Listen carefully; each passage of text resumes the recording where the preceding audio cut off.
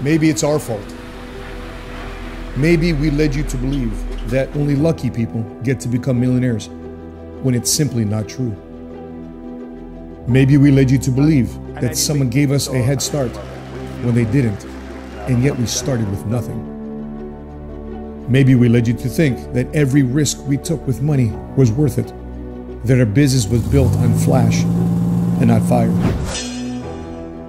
Maybe it's our fault that you didn't see that failure gave us strength and that pain was our motivation.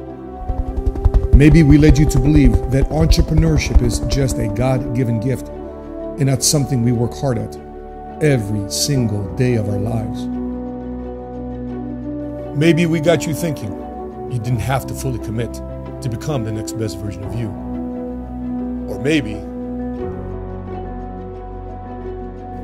you're just making excuses.